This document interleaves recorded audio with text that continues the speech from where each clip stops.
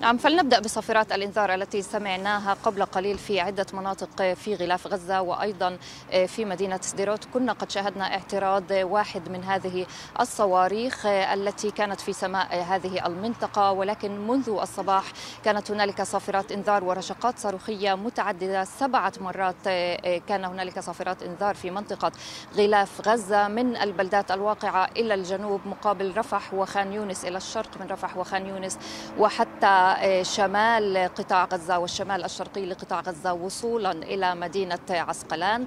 لم يبلغ إلى الآن لا عن إصابات ولا عن أضرار ولا أيضا عن سقوط صواريخ في هذه المناطق. بالنسبة لما يحدث في داخل غزة نحن نسمع بين الحين والآخر قصف إسرائيلي غارات إسرائيلية. كانت هنالك بعض الغارات أقل مما شهدناه يوم أمس على شمال قطاع غزة تحديدا بيت حنون وبيت لاهية. ولكن أيضا قصف شديد وقصف مدفعي أيضا على الأحياء الشرقية لمدينة غزة لا سيما الزيتون والشجاعية وأيضا منطقة جباليا قصف مدفعي وأيضا غارات جوية على تلك المناطق. ونفهم بأن الاشتباكات اليوم استمرارا أيضا للأمس هي على أشدها في الأحياء الشرقية لمدينة غزة كما ذكرت الشجاعية والزيتون وأيضا المنطقة الشرقية لجباليا وأيضا مخيم جباليا.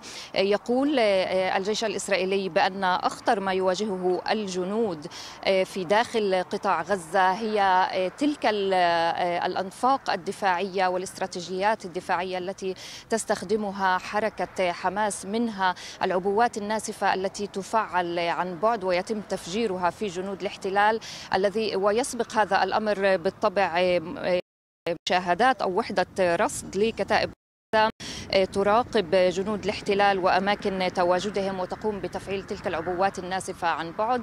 إضافة إضافة طبعا إلى الأنفاق المفخخة التي أيضا أدت إلى مقتل بعض الجنود. كانوا يحاولون فحص تلك الأنفاق ويتبين في النهاية بأنها أنفاق مفخخة وهذا يؤدي إلى إصابات في صفوف جنود الاحتلال. ولكن أيضا يعني هذا التقدم نعلم بأن هنالك تقدم وفق المصادر الإسرائيلية على الأقل للجيش الإسرائيلي في مدينة خان يونس ربما لا لا لا يتمكن أو لا تتمكن الفصائل الفلسطينية من منع هذا التقدم بسبب آلة الحرب الإسرائيلية ووحشية القصف الجوي والمدفعي ولكن بلا شك بأن المقاومين الفلسطينيين يدفعون الجيش أيضا ثمنا باهظا لهذا التقدم بسبب هذه الخسائر. نتحدث حتى الآن عن 104 عسكريا إسرائيليا من جنود الاحتلال. الاحتلال.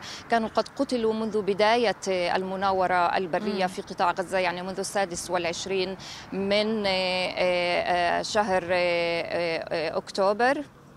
حين دخلت إسرائيل وبدأت توغلها البري في قطاع غزة. على الصعيد السياسي طبعا هنالك الكثير من التطورات على الصعيد السياسي الداخلي وأيضا الدبلوماسي. يفترض يوم بعد غد سيصل إلى هنا المستشار القومي الأمريكي وبعده جيك سوليفان طبعا وبعده أيضا سيصل وزير الدفاع الأمريكي أيضا إلى هنا. القضايا الأساسية التي تركز عليها الولايات المتحدة زيادة المساعدات الإنسانية بشكل كبير إلى قطاع غزة. وهذا قد بدأ يحدث بالأمس منسق أعمال الحكومة الإسرائيلية في المناطق المحتلة.